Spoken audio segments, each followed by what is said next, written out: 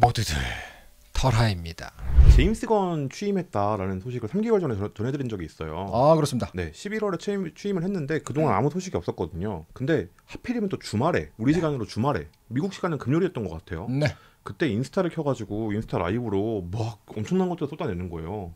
아니 이런 걸 뭐 인스타 라이브로 하나 해- 들어갔죠. 네. 근데 이건 아 이건 기사로 써야겠다. 어, 그 정도. 네. 일단 제임스 건이 누굽니까라고 모르는 분들도 계시니까 음. 간단하게 한 줄 소, 편줄 소개. 영화 감독이고요. 수어사이드 스쿼드와 그렇죠. 그리고 가디언즈 오브 갤럭시를 네. 만든 사람입니다. 그렇습니다. 마블과 DC에 모두 있었다가 그렇죠. 이제 DC로 완전히 옮긴. 시작은 마블이었죠 원래. 그렇죠. 근데 DC에서 데려간 거죠. 네. 그렇습니다. 일단 가장 먼저 DCU, DCEU라고 불렀었는데 이 네. DC 유니버스가 개편된다고 해요. MCU, 네. BBU, DCU 가장 유명한 세 개의. 그렇죠. 네. BBU도에서 보부상 뉴스라고 이렇게 죄송합니다. 네. 이전과는 좀 달라요. 뭐냐면 영화랑 게임, 애니메이션, TV 시리즈 이게 DC는 다 분리돼 있었어요. 네. 영화는 영화끼리, 그리고 만화는 만화끼리, 음. 게임은 게임끼리. 그래서 레고도 레고가 다르고 그리고 그 실사에 가까운 high high quality의 게임 다르고 네. 다 달랐거든요.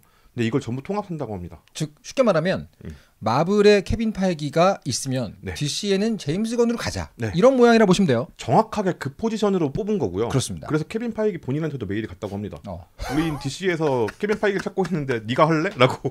그 가장 웃겼던 소식이었어요. 그죠. 야 우리는 DC의 케빈 파이기를 만들 거야. 그러니까 케빈 파이기가 와라. 얼마면 되겠니라고. 하지만 마블에서 아직 할 게 남아있던 케빈 파이기는 안 갔나 봐요. 네, 그래서 제임스 건이 왔고. 네. 근데 일단 이미 성공을 거둔 영화들이 있잖아요. 그렇죠. 이건 안 합친다고 합니다. 아 그래요? 더 배트맨, 조커 같은 초대박이 난 시리즈들 있죠. 아 네, 이런 거는 DC 엘스월드라는 별도의 세계관을 만들어서 그것끼리 잇는다고 해요. 하긴 그거는 억지로 붙이면 약간 tone and manner가 안 맞기도 합니다. 네, 그렇죠. 수어사이드 스쿼드 옆에 그 조커 영화가 붙으면 사실 튀거든요. 그렇죠. 거기서 조커 안에서는 조커가 진짜 세지만 그렇죠. 수어사이드 스쿼드랑 붙으면 사실 아니죠. 일반인이잖아요. 그렇죠, 그렇죠, 네. 그러면 안 되니까. 네. 그래서 DC가 좀 확실한 노선을 정한 것 같아요. 음, 이 와중에 좀 궁금해지는 게 하나 있습니다. 네. 네이버 웹툰에 지금 연재 중인 웨인 패밀리 어드벤처가 있어요. 그렇죠. 네, 이게 어떤 역할을 할지가 되게 궁금해요. 어 여기에서 보부상 뉴스랑 붙는군요. 그럼요, 네. 네네. 아예 상관없게 갈지 아니면 오리지널 이슈의 어떤 light 버전처럼 네네. 그 드라마 시리즈로 갈지 음, 아니면 아예 DCU랑 별개의 유니버스를 따로 웹툰 세상에서 만들게 될지 이런 게 좀 궁금합니다. 개인적으로는 궁금함을 넘어서서 제임스 건이 네. 세로 스크롤 형태의 만화를 음. 미국의 코믹스판에서 어느 정도까지 관심을 갖고 보고 있을까? 음.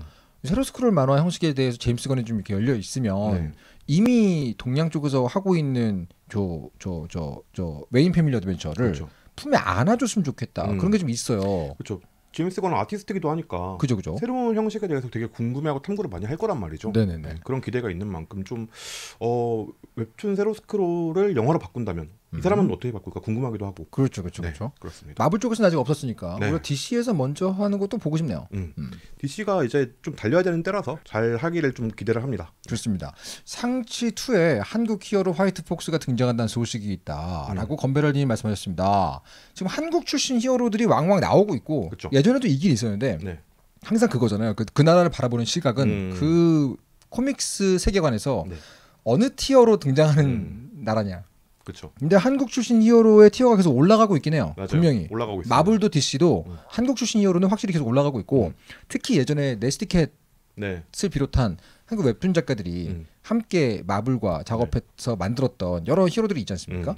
그럼 그런 존재들도 실제 전체 유니버스로 속속 들어간다는 얘기 듣고 음. 어, 웹툰하고 같이 나오는 거 좋겠다, 재밌겠다. 어. 어, DC도 분명히 그걸 알고 있을 거고 뭔가 새로운 걸 만들려고 할 겁니다. 네. 그렇습니다. 좀 기대가 되네요.